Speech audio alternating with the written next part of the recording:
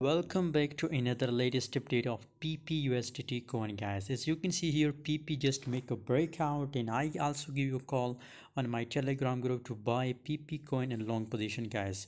So if you want to get free signal if you want to make money from crypto trading i recommend to all of you to buy my youtube vip subscription guys. So if you are looking for a free signal simply you can also join my telegram group. Link is in description guys just right now it's make a breakout. PEPE coin 18 percent gains in last 24 hour and below volume is also bullish. So according to my own view guys uh, it's looking bullish and i recommend to buy in long position guys. Thanks for watching guys. For more latest update stay tuned on telegram